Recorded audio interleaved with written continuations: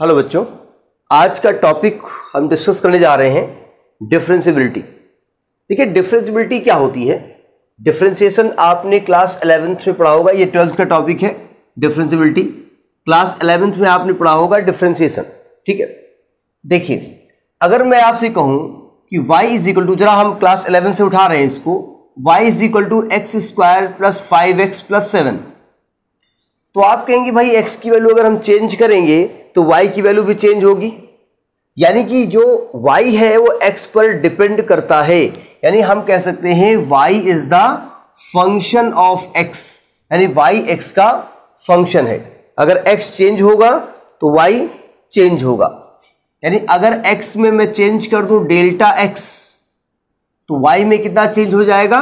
y plus delta Y और ये जो delta y upon delta x है इसी को कहते हैं change in x way y with respect to x और if this change is very small तो इसी को लिखा जाता है d y by d x अभी हम डायरेक्ट डिफ्रेंसिएशन बता रहे हैं।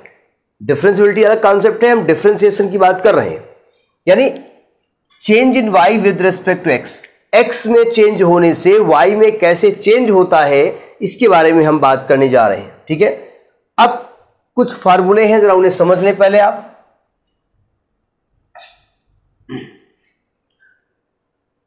जब हम वाई बाई डी की बात करते हैं तो y का x का फ़ंक्शन होना ज़रूरी है। यानी y x पर डिपेंड करना चाहिए। इसमें x भी चेंज हो रहा है और y भी चेंज हो रहा है। तो अगर आपका डिफ्रेंसिएशन करना हो x टू पावर n, देखिए x यहाँ पर क्या है? वेरिएबल है। चेंज हो रहा है। और n क्या यहाँ पर है? कांस्टेंट है। तो अगर इसको आप डिफ्रेंसिएशन करेंगे तो आप कहेंगे d y by d x ये जो डी बाई डी एक्स है ना, ये इसको डिफ्रेंशिएट करता है, इसीलिए इसका नाम है डिफरेंशियल ऑपरेटर डिफरेंशियल ऑपरेटर इसको कहा जाता है, क्योंकि ये इस फ़ंक्शन को डिफ्रेंशिएट करता है। डिफ्रेंशिएट करता है मतलब ये दिखाता है कि x में चेंज होने पर कैसे y चेंज हो रहा है। यानी आपको करना है डी बाई डी एक्स लिखने का तरीका है। वाई मतलब एक्स टू पावर एन इसका डिफ्रेंसिएशन क्या होगा? N x to power n minus one n is a constant दूसरा फार्मूला आपको जो याद करना है कि अगर y इज़ इक्वल टू कोई कांस्टेंट हो, जिसमें x ना हो कांस्टेंट हो तो इसका मतलब इसमें x है नहीं तो जब इसको हम d y by d x करेंगे differentiating y with respect to x यानी डी बाई डी एक्स आप कांस्टेंट टर्म हमेशा ज़ीरो होता है, क्योंकि इसमें कोई एक्स की वैल्यू है नहीं एक्स का फ़ंक्शन है नहीं। तीसरा फार्मूला है, अब मैं डायरेक्ट लिख रहा हूँ, कि अगर डी बाई डी एक्स करना है ए टू पावर एक्स का, a इज़ एनी कांस्टेंट तो इसका होता है a to power x log a to base e चौथा फार्मूला जो कि आपको याद रखना है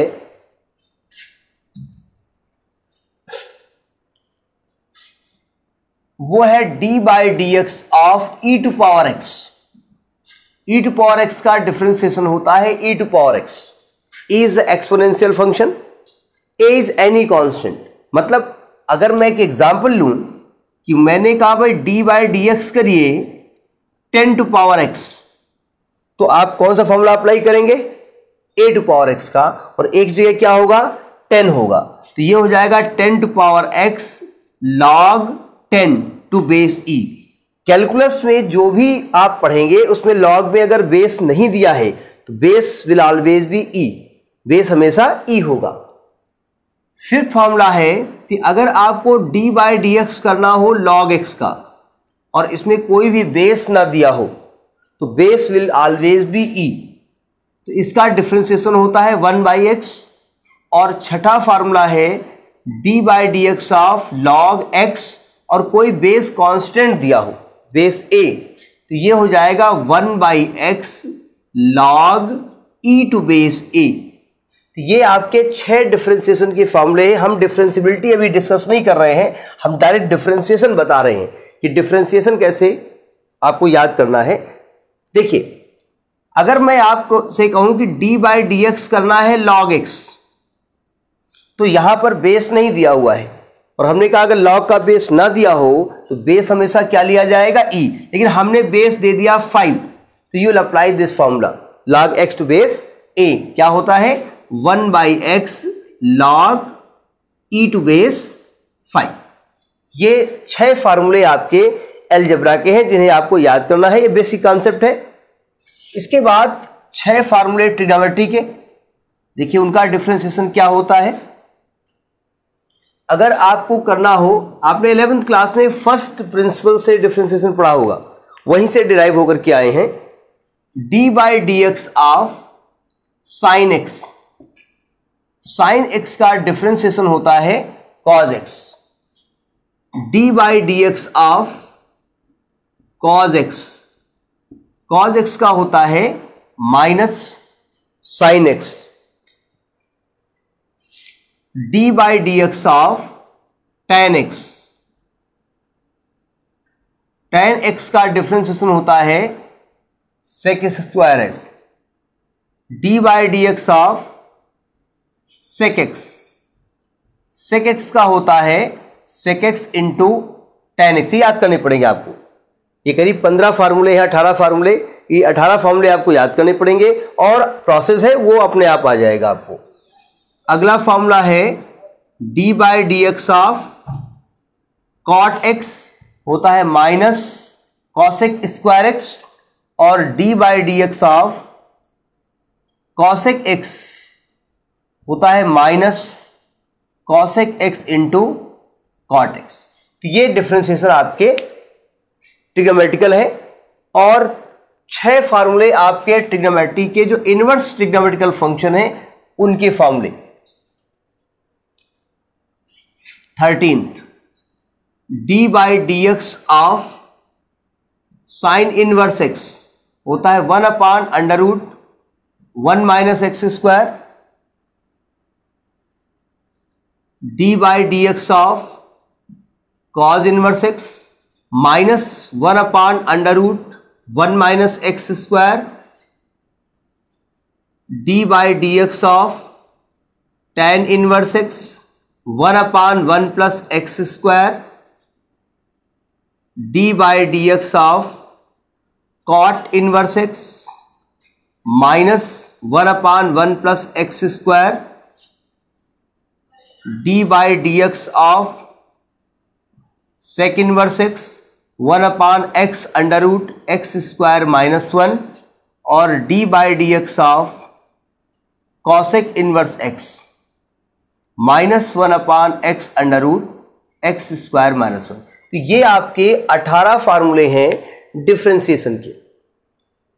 ये लगभग एलेवेंथ क्लास में थोड़ा बहुत बेसिक कॉन्सेप्ट डिफ्रेंसिएशन का आप पढ़ चुके हैं और यहाँ पर थोड़ा सा उससे ऊपर उठ के क्वेश्चन दिए हुए हैं। इसलिए ज़रा सावधान होकर समझिएगा इसके आगे के कॉन्सेप्ट कैसे लगाए जाएँगे। देखिए। जैसे हमने आपको बताया कि एक्स टू पावर एन का जो डिफ्रेंसिएशन होता है, वो n x to power n होता है। यानी अगर y बराबर एक्स टू पावर एन लिखा हो, और इसको आपको x के रेस्पेक्ट में डिफ्रेंशिएट करना हो, यानी d by d x of x to power n तो फॉर्मूला होता है n x to power n minus one ये अठारह फॉर्मूले ज़रूर याद रखिएगा, क्योंकि इसी अठारह फॉर्मूले में से बेसिक कॉन्सेप्ट पूरे आगे के आएँगे। देखिए ध्यान से। ये एक्स वेरिएबल है। ये पावर में कांस्टेंट है। आपके हिसाब से यहाँ एक्स ही होना चाहिए। लेकिन मान लिया, हमने वाई बराबर लिख दिया a x plus b whole to power n जब भी होल पावर आएगी, हम फॉर्मूला क्या याद करेंगे? एक्स टू पावर एन का। यानी यहाँ क्या होना चाहिए? यहाँ पर एक्स होना चाहिए। अब इसको फ़िलहाल हम मन में एक्स मानते हैं। इसके दो मेथड हैं, देखिए। फ़र्स्ट मेथड जो डायरेक्ट मेथड है, वो हम यूज़ करेंगे। सेकेंड मेथड एजम्पन मेथड है। देखिए, हम इसको डिफ्रेंशिएट करना चाहते हैं d y by d x d by d x of a x plus b to power n समझिएगा, जब भी होल पावर लिखा हो, जब भी लिखा हो, आप इसको एक्स टू पावर एन मान के चलेंगे। इसके अंदर क्या लिखा उससे आपसे मतलब नहीं है। मतलब इसको पूरे को आपके मन में क्या मान लेना है? ये पूरा x लिखा हुआ है। एक्स टू पावर एन का डिफ्रेंसिएशन क्या होता है? एन एक्स एक्स मतलब जो लिखा हुआ है। To power n minus one हो गया डिफ्रेंसिएशन लेकिन ये एक्स नहीं है। ये ए एक्स प्लस बी है। इसको एज्यूम किया है आपने एक्स तो हम यहाँ पर क्या करेंगे? डी बाई डी एक्स इसका दोबारा कर देंगे। बस इतना ध्यान रखिएगा। इसको आपने मन में एक्स माना है, जब भी होल पावर हो, अभी और हम एग्ज़ाम्पल देंगे, जब भी होल पावर हो तो इसको आप क्या मानेंगे मन में? X x to power n का क्या होगा? N x to power n minus one लेकिन ये खुद में एक्स नहीं था तो इसको दोबारा डिफ्रेंशिएट कर देना है। तो ये क्या होगा? N into a x plus b to power n minus one into अब इसको डिफ्रेंशिएट करते हैं। पहले डिफ्रेंशिएट किसका करेंगे? ए एक्स का और प्लस डिफ्रेंशिएट करेंगे बी का। तो ये हो गया आपका n into a x plus b to power n minus one a x में a क्या है? देखिए, अकेला अगर a, जैसे यहाँ पर b अकेला है, अकेला b कांस्टेंट होता है, लेकिन अगर वो x के साथ मल्टीप्लाई में है तो कोफिशियंट हो जाएगा। तो a तो हो गया बाहर, अब डिफ्रेंसिएशन x का क्या होगा? वन तो a इंटू वन और b का हो गया ज़ीरो तो ये क्या आ गया? A into n into a x plus b to power n minus one ये डिफ्रेंसिएशन का तरीका होता है। फिर समझिएगा, जब भी होल पावर हो तो उसको हम मन में क्या मानेंगे? X. एक और एग्जांपल लेते हैं। जैसे मैंने आपको दे दिया, y is equal to sine square x इसका मतलब क्या होता है? आप कहेंगे, भाई, इसको लिखा जाता है sine x whole to power two पहले आप इसको डिस्टर्ब मत करिए। Simply differentiating with respect to x लिखिए। Differentiating with respect to x अभी क्वेश्चन को नहीं मालूम है कि आप इसको कैसे लगाएँगे। D by d x of sine x whole to power two जरा देखिए। जब भी होल पावर होती है, हमने कहा ये क्या है? एक्स लिखा हुआ। जब भी होल पावर होती है, इसको मन में हमने एक्स मान लिया। X to power two formula क्या होता है? टू एक्स मतलब sine x to power two minus one. लेकिन हमने क्या बताया भाई, ये तो एक्स था नहीं, ये तो कुछ और लिखा हुआ था, इसको आपने माना है एक्स तो आप क्या करेंगे, इसको दोबारा डिफ्रेंशिएट कर दीजिए साइन एक्स यानी कि टू इंटू साइन एक्स और साइन एक्स का डिफ्रेंसिएशन कॉज एक्स जब ये डिफ्रेंशिएट हो जाएगा, तब आप इसको डिफ्रेंशिएट करेंगे। ये ध्यान रखिएगा, यहाँ पर आप d by d x of sine x मत कर दीजिएगा। ये चीज़ यहाँ पर गलत है। जब ये डिफ्रेंशिएट हो जाएगा, तब इस साइनस का द्वारा डिफ्रेंसिएशन किया जाएगा। तो जितने भी स्टैंडर्ड फार्मूले हैं, उसमें x की जगह अगर कुछ और आता है, कुछ और आता है तो उसको आप क्या मानेंगे? X मान के उसको डिफ्रेंशिएट करेंगे। ठीक है? डिफ्रेंसिबिलिटी कॉन्सेप्ट हम, चूँकि अभी हम एनसीईआरटी की एक साइड डिस्कस कर रहे हैं, उसमें बहुत क्वेश्चन नहीं दिए हुए हैं। ये हम आर डी शर्मा से डिस्कस करेंगे। अब जरा समझिएगा। इसका दूसरा मेथड भी एक होता है। उस मेथड को आप एडॉप्ट भी कर सकते हैं नहीं भी करना चाहे तो कोई दिक्कत नहीं है। सेकेंड मेथड क्या है? देखिए हमने कहा y बराबर a x plus b whole to power n जरा सावधान। ये क्या होना चाहिए? आप कहेंगे भाई ये x होना चाहिए। लेकिन ये x तो, तो है नहीं। तो हम क्या करेंगे? इस ए एक्स प्लस बी का कुछ नाम दे देंगे इसका नाम दे दिया हमने टी तो y इज़ इक्वल टू क्या हो जाएगा? टी टू पावर n अब देखिए, ये टी टू पावर एन आ गया। y किसका फ़ंक्शन है? t का फ़ंक्शन है। और t किसका फ़ंक्शन है? x का फ़ंक्शन है। तो इनडायरेक्टली y x से जुड़ा हुआ है, लेकिन डायरेक्टली y x से नहीं जुड़ा हुआ है। लेकिन आपको करना है y को x के रेस्पेक्ट में डिफ्रेंसिएशन चूँकि y x का डायरेक्ट रिश्तेदार नहीं है तो y किसके पास जाएगा? T के पास जाएगा। यानी y को आप डिफ्रेंशिएट करेंगे किसके रेस्पेक्ट में? T के रेस्पेक्ट में। फिर t जाएगा x के साथ मतलब d by d x of t करेंगे। तो d y by d t into d t by d x इसको कहा जाता है चेन रूल ये चेन रूल कहलाता है।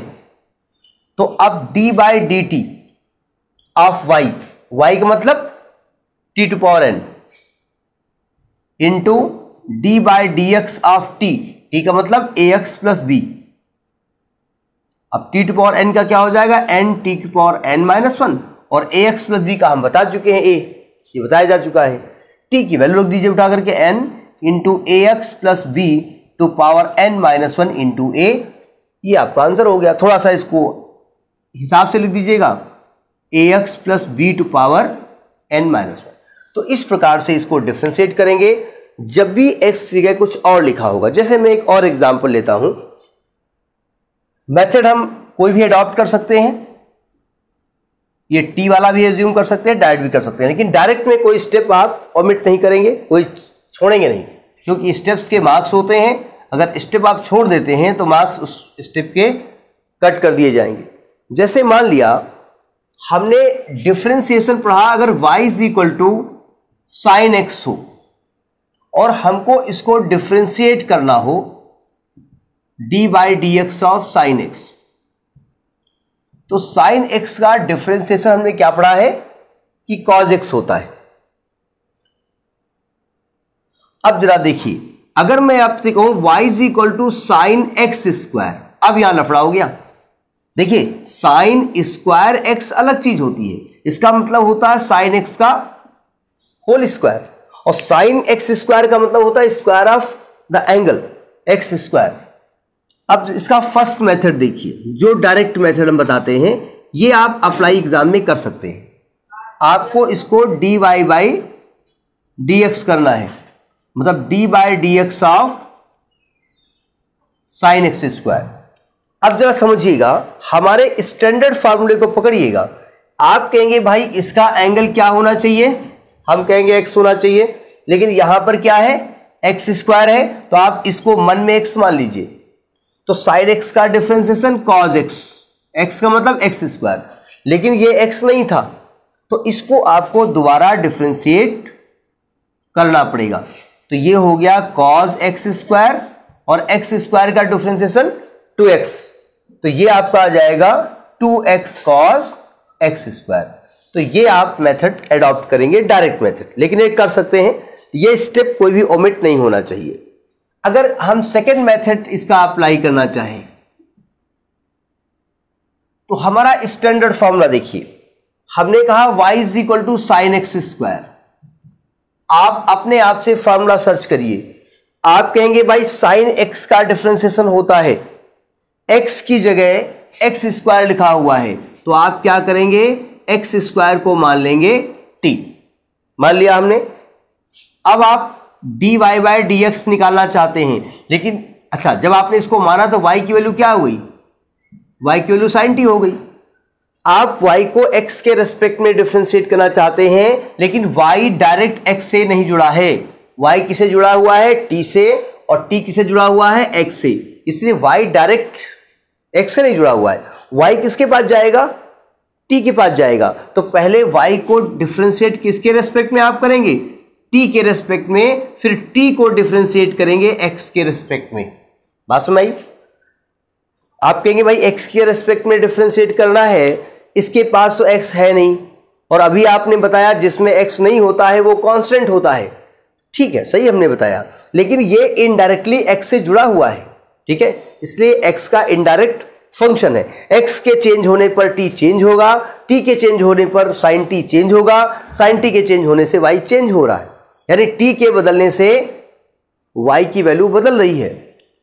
तो यह आएगा d by d t of y y मतलब sine t into d by d x of t मतलब एक्स स्क्वायर तो ये हो गया cos t into x square का टू एक्स तो टू एक्स कॉस टी का मतलब एक्स स्क्वायर तो ये मेथड आपका डिफ्रेंसिएशन का है, ठीक है? तो 99 परसेंट यही अप्लाई करेंगे।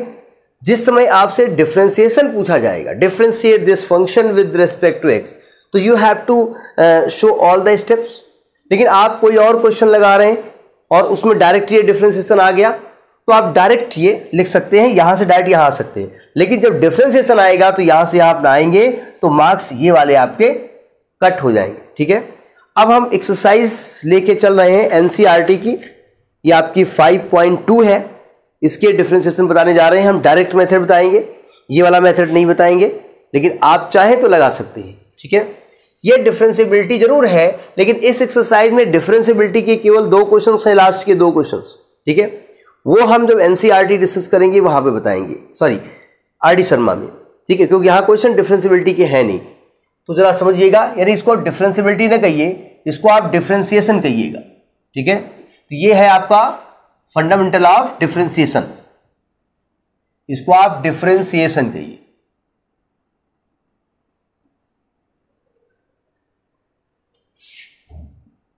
डिफ्रेंसिएशन कहिए। एनसीआरटी एक्सरसाइज है 5.2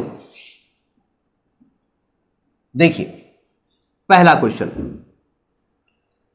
differentiate y is equal इसको y नाम देते हैं, y is equal to sine x square plus five देखिए, इसको मत आप शो होने दीजिए इस क्वेश्चन को कि आप इसको लगा नहीं सकते।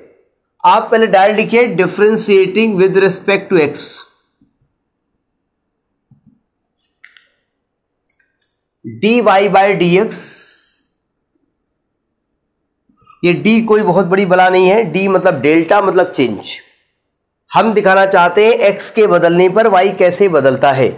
क्योंकि स्मॉल चेंज है, इसलिए इसको डी लिखा गया है।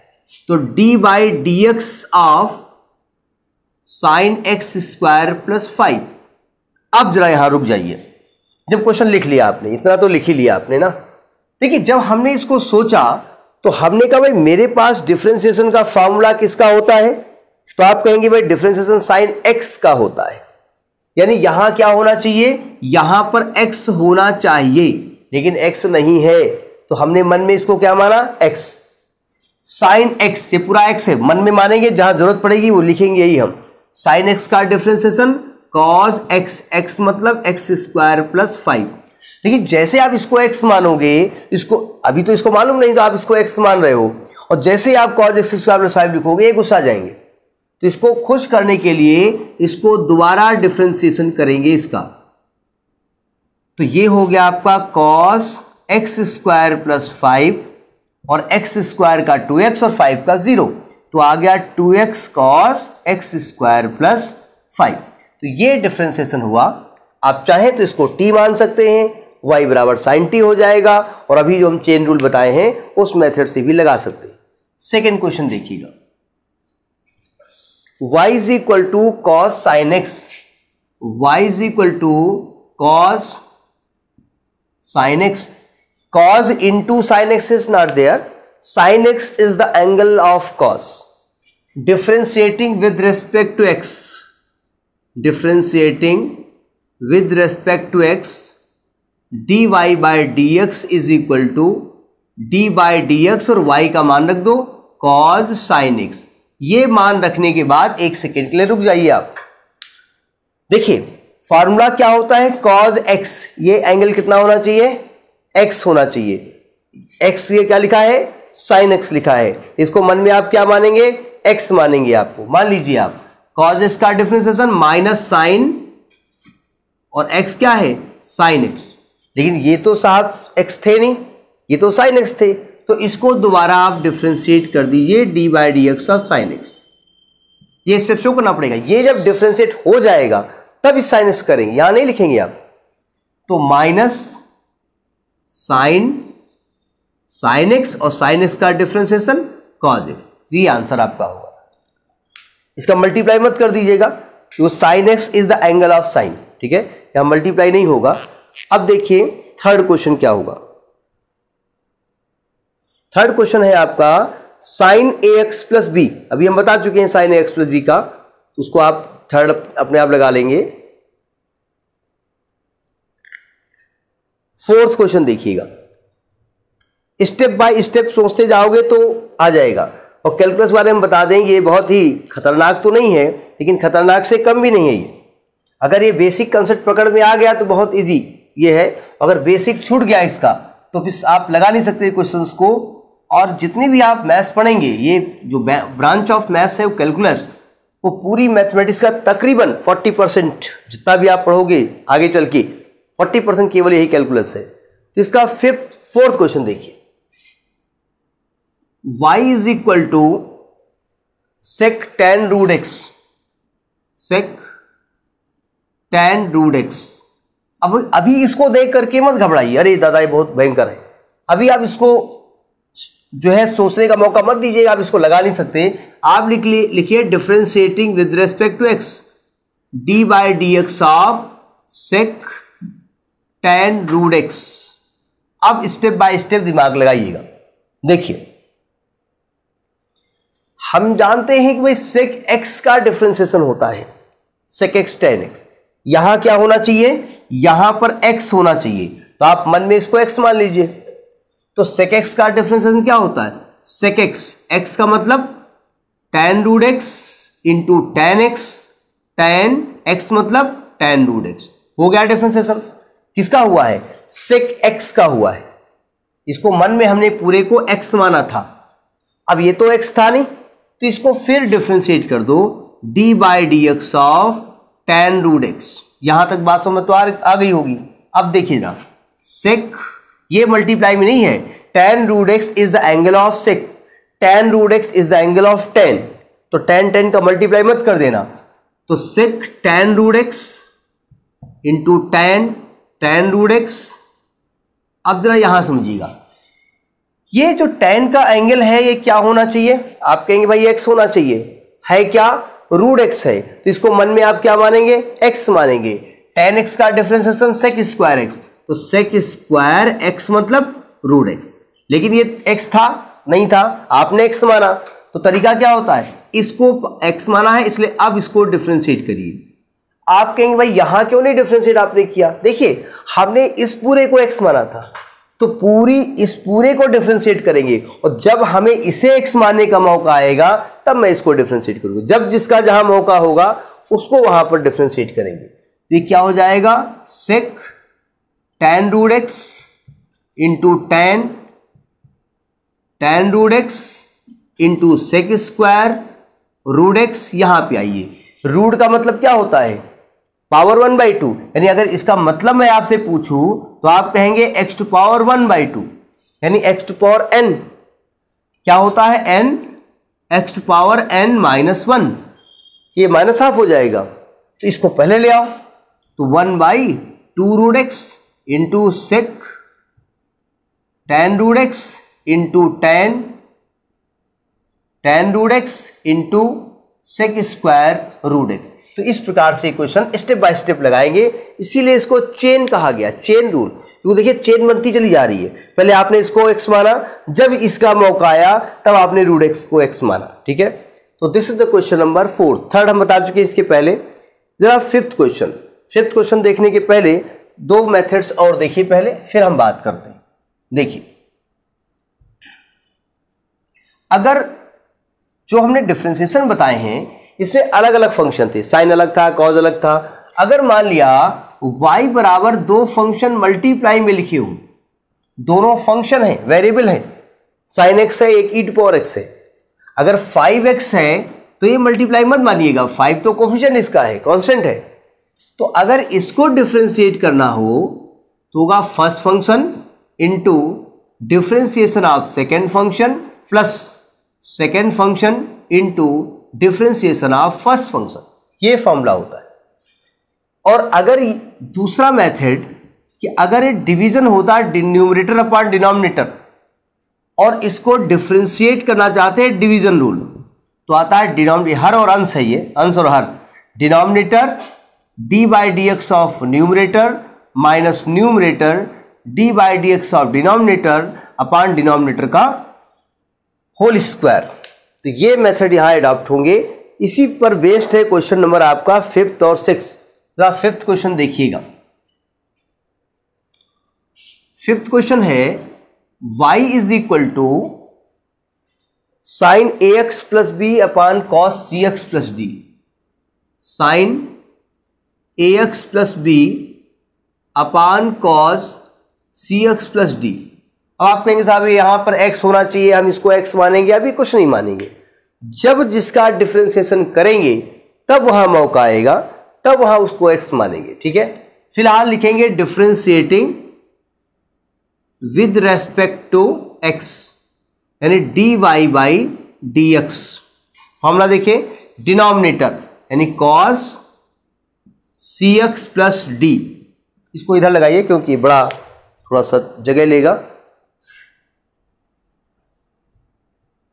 देखिए, ये इधर लगा हुआ है। D y by d x denominator cos c x plus d into differentiation of numerator sine a x plus b minus numerator. Sine a x plus b into differentiation of denominator into differentiation of denominator whole upon denominator whole square यानी cos square c x plus d अब जरा देखिए। क्या इसको आप differentiate कर रहे हैं? इसको?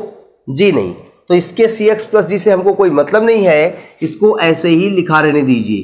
Cos c x plus d into यहाँ पर आइए। इसको आप डिफ्रेंशिएट कर रहे हैं। यहाँ क्या होना चाहिए? यहाँ पर एक्स होना चाहिए। एक्स है, नहीं है। तो क्या करेंगे? इसको आप एक्स मान लीजिए। साइन एक्स का डिफ्रेंसिएशन कॉज एक्स यानी cos a x plus b अब इसको दोबारा डिफ्रेंशिएट करिए।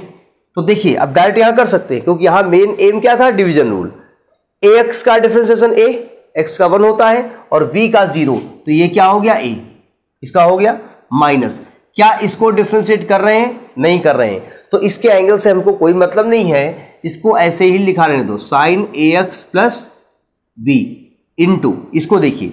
यहाँ पर मैंने इसको मन में एक्स मान लिया.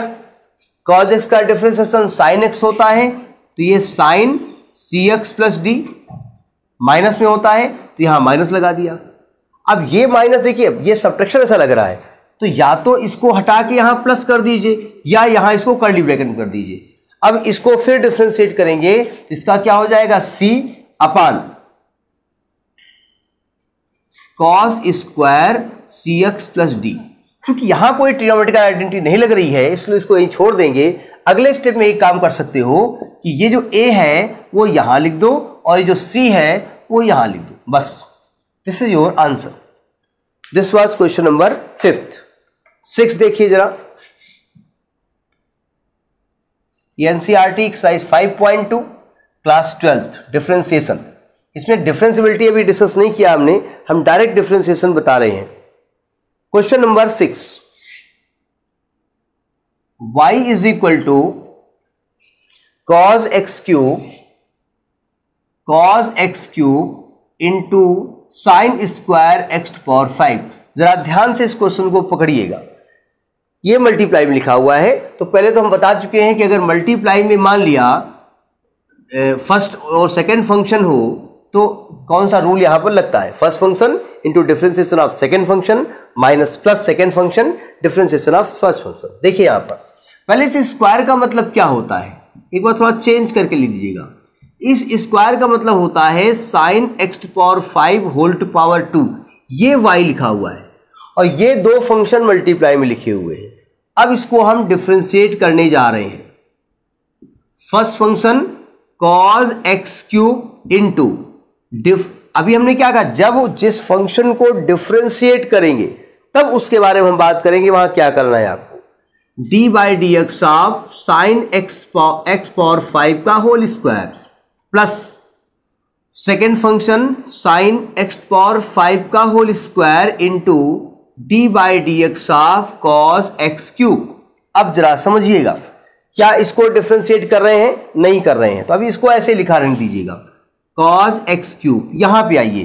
अभी हमने बताया कि होल पावर जब भी होगी, जब भी होल पावर होगी तो आप इसको क्या मानेंगे?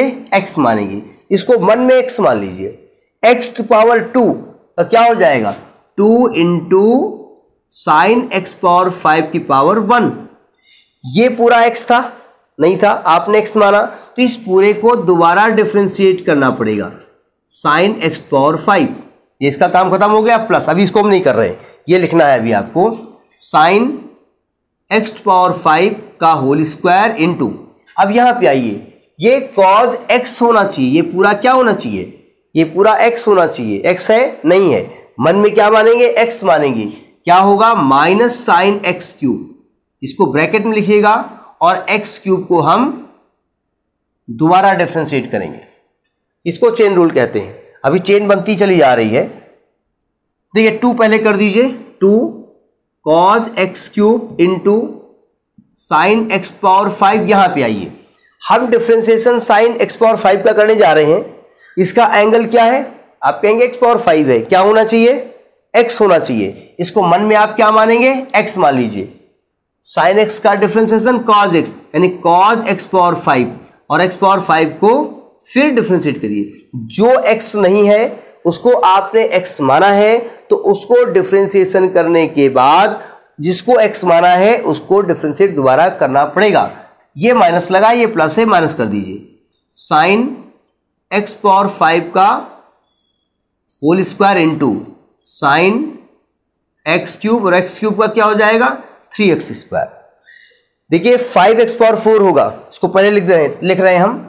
Two into five x power four into cos x cube into sine x power five into cos x power five इसका हो चुका है, ये लिख चुके हैं। माइनस, ये पहले लिख दीजिएगा। थ्री एक्स स्क्वायर, इसको फिर इसी प्रकार से लिखा जा सकता है। Sine square x power five into sine x cube तो ये आपका आंसर है। इसमें थोड़ा चेंज हो सकता है। आपने इलेवेंथ पढ़ा होगा। ये दोनों के एंगल सेम है। तो जब एंगल सेम होता है तो two sine theta into cos theta is the formula of sine two theta two होना, ये टू इसके साथ एडजस्ट कर दो, ये टू इसके साथ एडजस्ट कर दो, इतने के साथ। और two sine x power five into cos x power five इसको लिख सकते हैं sine two into x power five हो सकता है ऐसा आंसर लिखा हो, वैसे दिस इज़ योर आंसर और ये आएगा आपका टू उधर हटा दिया है ये पहले टू यहाँ लिखा हुआ था। ये आएगा five x power four cos x cube minus ये लिख दीजिए उठा करके three x square sine square x power five into sine x cube तो ये लिख सकते हैं, कोई ज़रूरत इसकी है नहीं। आप वही पहले वाला आंसर लिख सकते हो, कोई दिक्कत वाली बात नहीं है। तो this is the six question अब जरा देखिए सेवेंथ क्वेश्चन क्या है। नाइन्थ और टेंथ में डिफ्रेंसिबिलिटी है। उसको जब डिफ्रेंसिबिलिटी बताया जाएगा R D Sharma next video में हम बताएँगे, तब वहाँ बताया जाएगा इसको।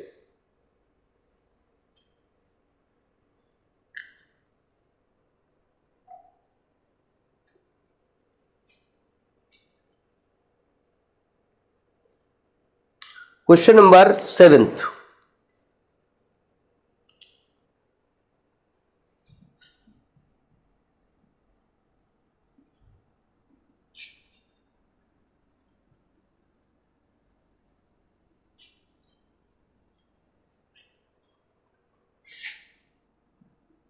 देखिए, y is equal to two into under root cot x square देखिए ध्यान से। पहले तो रूट हटाइए यहाँ से। आएगा two cot x square to power half अब आप कहेंगे, भाई, दो फ़ंक्शन है। फ़ंक्शन नहीं है, ये कांस्टेंट है। यहाँ तो इसका नाम कोफिशियंट है। तो ये मल्टीप्लाई रूल नहीं लगेगा प्रोडक्ट रूल नहीं लगेगा, ये बाहर लिखा रहेगा। अगर ये कोई एक्स का फ़ंक्शन होता, तब दो फ़ंक्शन माने जाते। इसको लिखेंगे differentiating with respect to x तो d y by d x is equal to two इधर लिखा रहने दो। D by d x of cot x square power half अभी देखिए हमने क्या बताया होल पावर का कॉन्सेप्ट समझिएगा। हमने कहा जब भी होल पावर होती है, आप इसको मन में क्या मानते हैं? इसको एक्स मानते हैं। तो क्या हो जाएगा? ये तो टू बार लिखा हुआ एन एक्स का मतलब cot x squared power half minus one अब ये तो एक्स था नहीं। इसको आपने एक्स माना है तो इसको दोबारा डिफ्रेंशिएट कर दो। D by d x of cot x square ये टू टू कट जाएगा। ये क्या आएगा? Cot x squared power minus half इसको मन में एक्स मानो, क्योंकि ये एंगल है, ये एक्स होना चाहिए। कॉट एक्स का differentiation minus cosec square x तो minus cosec square x square और एक्स स्क्वायर को दोबारा डिफ्रेंशिएट करना पड़ेगा, क्योंकि ये एक्स स्क्वायर नहीं था, आपने एज्यूम किया है। तो ये हो गया आपका माइनस बाहर कर दो। ये देखिए माइनस हाफ़ है। तो ये अपान में आएगा। One upon under root cot x square into cosec square x square और एक्स स्क्वायर का टू एक्स और अगले स्टेप में इसको पहले कर दो तो आएगा माइनस का two x cosec square x square upon under root cot x square तो ये सेवेंथ क्वेश्चन है. एंड एट्थ क्वेश्चन देखिए क्या इसका है? Cos root x y is equal to cos root x जब इसको डिफ्रेंशिएट करेंगे आप, अब देखिए यहाँ पर एंगल है रूट एक्स एंगल क्या होना चाहिए? एक्स होना चाहिए। तो हमने मन में क्या माना? एक्स कॉज एक्स का differentiation minus sine x x मतलब रूट एक्स और रूट एक्स को आप दोबारा डिफ्रेंशिएट कर दें। तो minus sine root x root का मतलब क्या होता है? पावर हाफ़ होती है। तो ये क्या हो जाएगा? यानी ये जो लिखा है, ये एक्स पावर हाफ़ लिखी हुई है। तो half x power half minus one तो माइनस ये माइनस हाफ़ होगा तो one by two root x कर सकते हैं और साइन रूट एक्स कर सकते हैं। तो ये डिफ्रेंसिएशन के क्वेश्चंस हैं। चूँकि इसके दो क्वेश्चन और बचे हैं, उसमें डिफ्रेंसिबिलिटी टेस्ट करनी है, वो अभी हमने नहीं बताई है। वो नेक्स्ट वीडियो में डिस्कस करेंगे। इसको लगा लीजिएगा ओके थैंक यू